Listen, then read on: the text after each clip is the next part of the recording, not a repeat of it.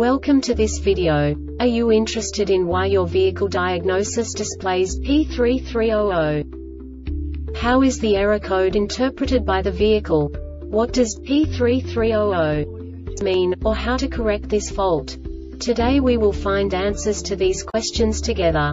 Let's do this. First, let's look at the history of diagnostic fault code composition according to the OBD2 protocol, which is unified for all automakers since 2000.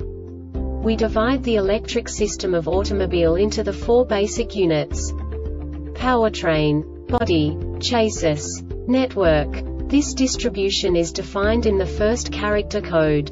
If the second character is expressed as zero, it is a standardized error. In the case of numbers 1, 2, 3 it is a more prestigious expression of the car-specific error.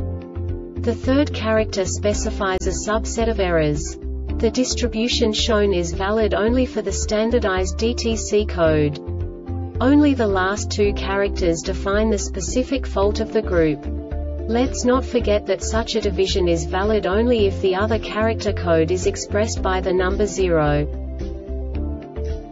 Our website airbagreset.sk produces useful videos for you. You do not have to go through the OBD2 protocol anymore to know how to troubleshoot any car breakdown. You will find all the diagnostic codes that can be diagnosed in a BMW vehicles. Also many other useful things. The following demonstration will help you look into the world of software for car control units. You unbelievably can move the video a bit further. The error code is split into two bytes consisting of 16 bits. One bit is the basic unit that each computer works with. The bit has two logical states. 0, low level, 1, high level. By combining the first two bits, the basic character of the error code is expressed. The next two beats again determine the second character.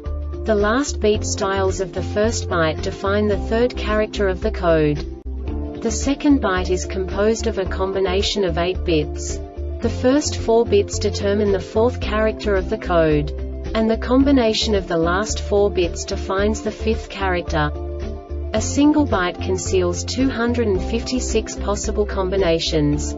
We now know in what way the diagnostic tool translates the received information into a more comprehensible format. The number itself does not make sense to us if we cannot assign information about it to what it actually expresses.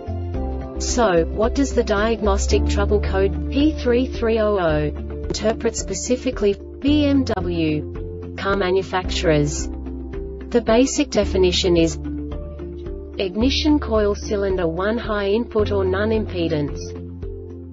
And now this is a short description of this DTC code.